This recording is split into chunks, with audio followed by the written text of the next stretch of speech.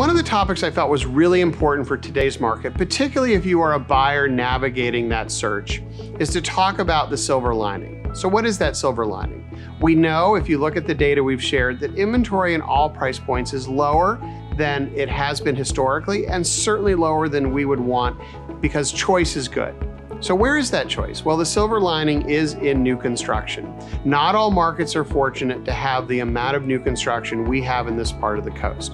And whether you're looking for a single family home, you're looking at vertical living, downtown, out east, all parts of our market really have great choices. And that guide to that inventory is exceptionally important as well, because what you won't always see is what's truly available. It's our job to know not just what the latest communities are, but what they may not be putting online. How many homes are there? What styles are there? You may see something but not realize there's a whole different style in that same community.